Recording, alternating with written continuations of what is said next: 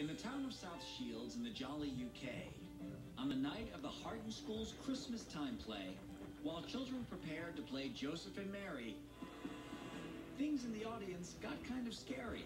Watch yourself! Shut up, wanker! No one quite knew why their tempers were flaring, but soon two dads were punching, kicking, and swearing. Watch it, you bloody c- Oh! Some sitting nearby tried to break cold winter night.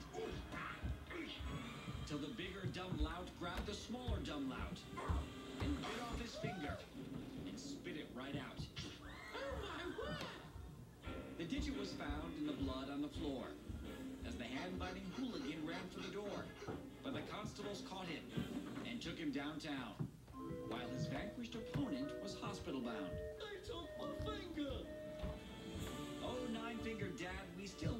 cheer. Though your holiday turned rather bloody this year. Bloody, bloody.